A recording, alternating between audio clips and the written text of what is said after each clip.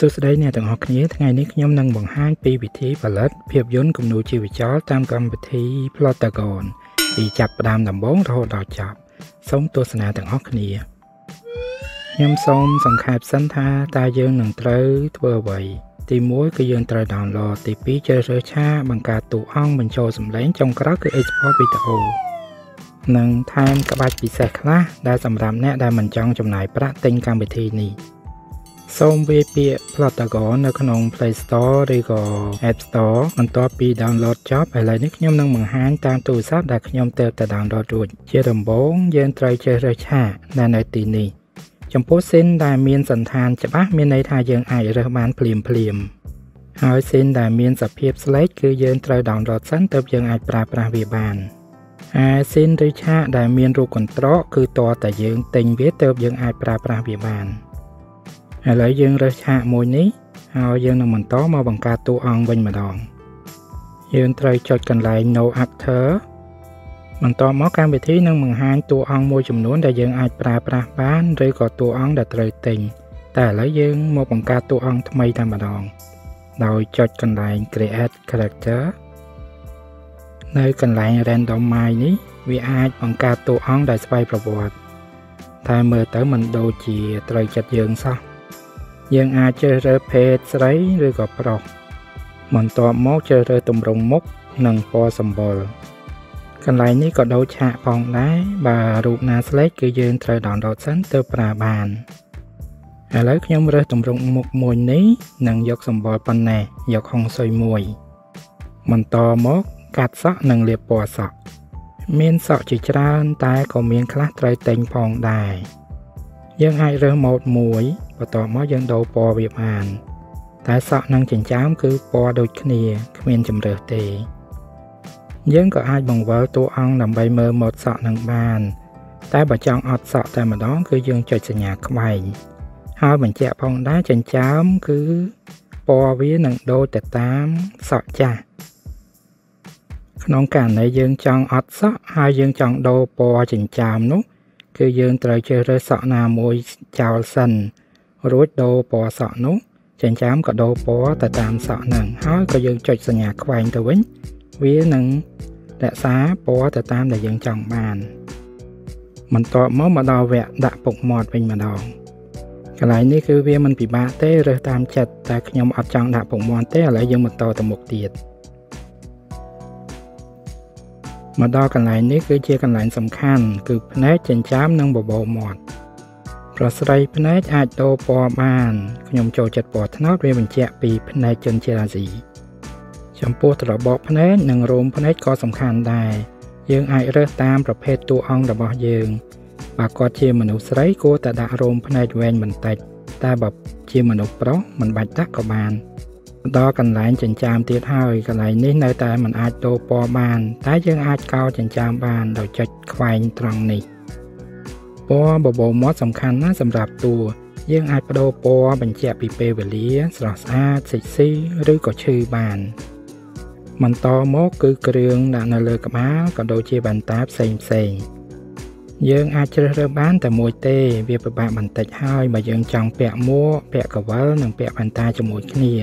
តែខ្ញុំអាចធ្វើបានខ្ញុំនឹងបង្ហាញនៅពេលក្រោយមកដល់កន្លែងសបាយហើយគឺដូរអាវ អាវមានច្រើនគូសំតួគិតប្រាក់ឬក៏ free ក៏ដោយ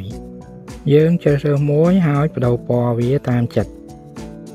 តែពណ៌អាវវាអាចទៅតាមម៉ូដរបស់វា មានពណ៌ខ្លះវាជ្រះគ្នាជួនម៉ូដនេះមានពណ៌ដែលយើងត្រូវការតែពេលម៉ូដមួយទៀតវាអត់មានពណ៌ហ្នឹងក៏ថាបានដែរ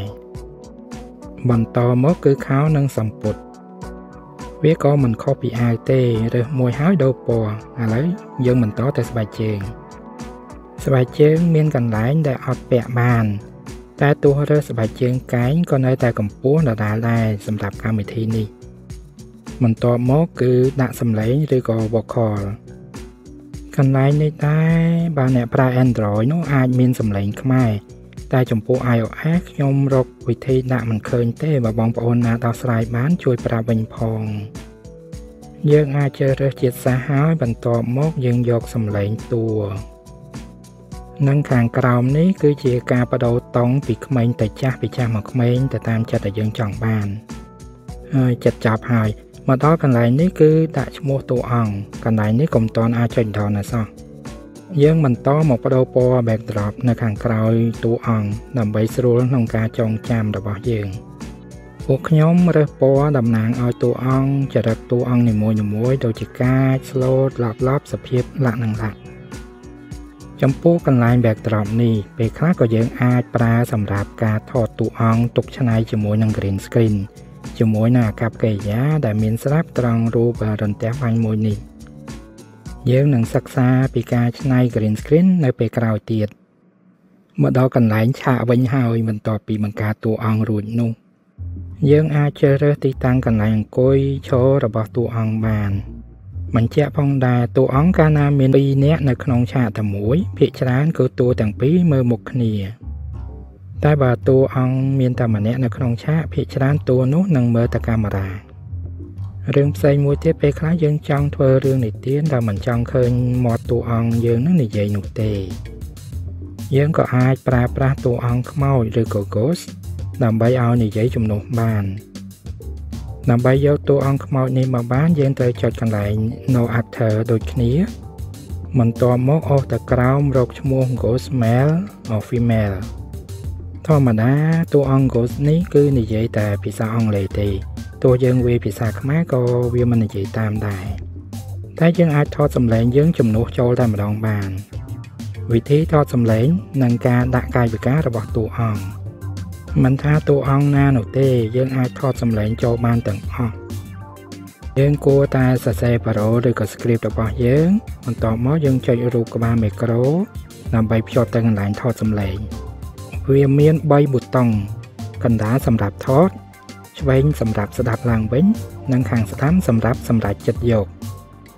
ប៊ូតុងថតគ្រាន់តែចុចមួយហើយមិនចាំបាច់ចុចជាប់ទេ វានឹងចាប់ផ្ដើមថត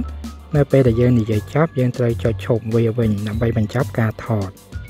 បញ្ជាក់ផងដែរសំឡេងថតនៅក្នុងឈុតនីមួយៗគឺយូរបំផុតបានត្រឹមតែ60វិនាទីប៉ុណ្ណោះយើងអាចច្នៃបំបែក script ដើម្បីស្រួលថតកុំឲ្យវាកាត់ផ្ដាច់នៅពេលដែលយើងថតបាន1នាទី ចំពោះការថតនេះបើយើងមិនពេញចិត្តអាការថតចាស់ហ្នឹងយើងអាចចុចថតឡើងវិញបាន តែវានឹងលុបសំឡេងចាស់ដោយរើសយកតែសំឡេងចុងក្រោយបំផុតចុះបើយើងមិនពេញចិត្តសំឡេងថតយើងចង់រើសយកតែសំឡេងរ៉ូបូតតែយើងច្រឡំថតបាត់ហើយតែយើងត្រូវធ្វើយ៉ាងម៉េចទៅយើងអាចចុចកន្លែង New Recording រួចចុចប៊ូតុង Tick ដើម្បីបញ្ចប់ ពេលដែលស្ដាប់ការបង្ហាញនេះវាមើលទៅដូចជាស្មុគស្មាញបន្តិចតែពេលដែលធ្វើទៅវាមិនពិបាកទេសាកធ្វើបានណាបន្ទាប់ពីការថតសម្លេងឬក៏វាយ script រួចហើយយើងមករើសយកកាយវិការឬក៏ទឹកមុខតួអង្គដែលធម្មតារបស់វាគឺ neutral យើងអាចរើសកាយវិការទៅតាមសាច់រឿងរបស់យើងបានតោះឥឡូវសាកមើលវីដេអូដែលយើងធ្វើហើយហ្នឹងដោយចុច play คุณอยู่ที่ไหน I believe that you are ក្នុងករណីបើយើងចង់មើលវីដេអូពីតាមមកយើងត្រូវចុចចំណុចត្រង់ណាដែលយើងឲ្យវាសម្ដែង Hello, I am a ghost. នេះនេះคืออะไร No, I am not a ghost. ហើយបើករណីវីដេអូយើងវែងបើយើងមិនចុចឈប់ទេវានឹងសម្ដែងតតែចប់អឺឥឡូវមកដល់វគ្គបញ្ចប់ដែលសំខាន់ដែរនោះសម្រាប់កម្មវិធីនោះ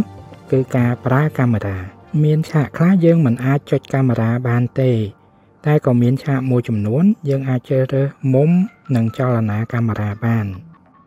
ក្នុងករណីយើងរើសកាមេរ៉ាមួយ បើស៊ីននោះនៅតែដដែល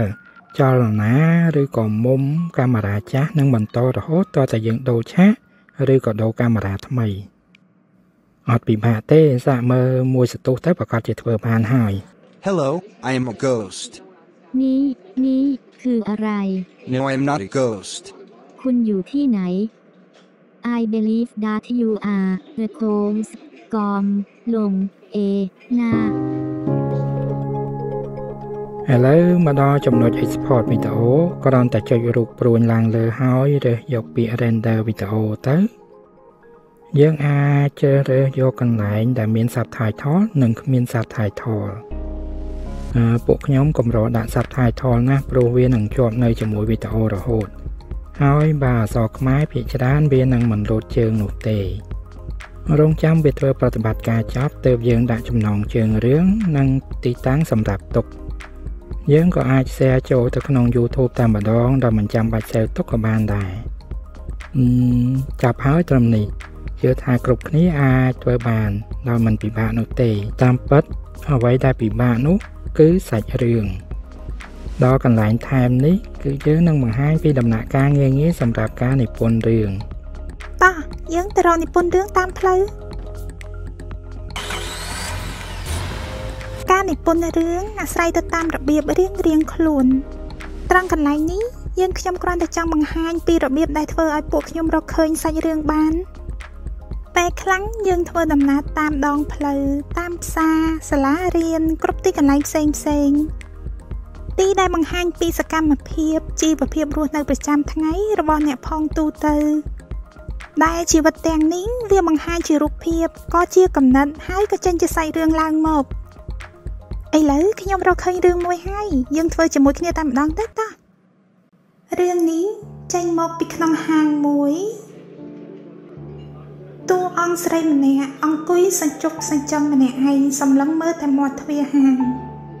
លួចប្រាប់ទៅចុះគាត់កំពុងតែចាំគូតដឹងគាត់ដែលបានណាត់គ្នាមកជួបនៅក្នុងហាងនេះចាំតាំងពីថ្ងៃរហូតដល់យប់តួស្រីពិបាកចិត្តយ៉ាងខ្លាំងនៅពេលនោះស្រាប់តែចេញតួអ្នករត់តុក្នុងហាងអត់និទៅយាយបងជាស្មរីូយតើទូរស័ព្ទបងស្រីនៅណាមានគេផ្ដាំឲ្យសួរថាគាត់បារម្ភខ្លាំងណាស់ ទូរស័ព្ទខ្ញុំអស់ថ្មយូរហើយ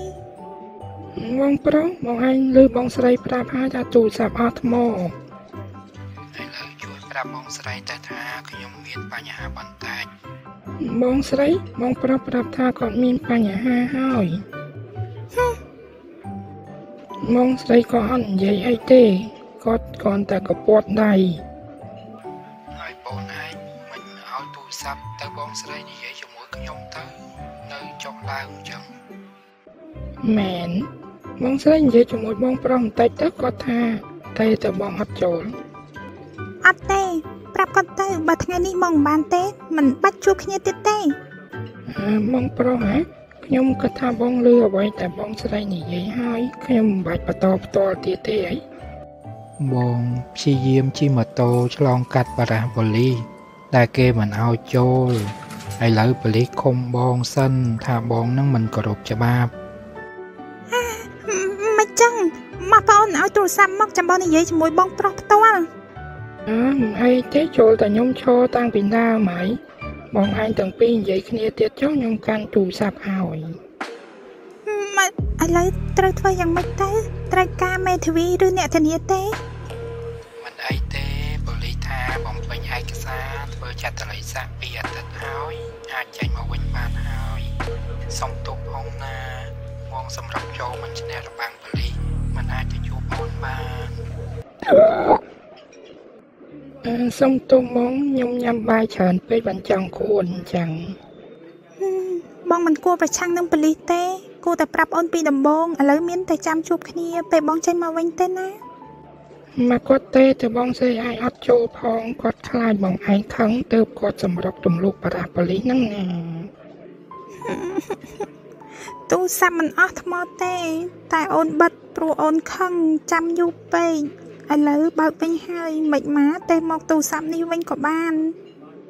បងប្រុសបានលឺហើយចាំទូរស័ព្ទផ្ទាល់ទៅជាមួយបងស្រីទៅណាព្រោះទូរស័ព្ទនេះទូរស័ព្ទហាងมันអាចសារស្រងគ្នាបានយូរពេកទេ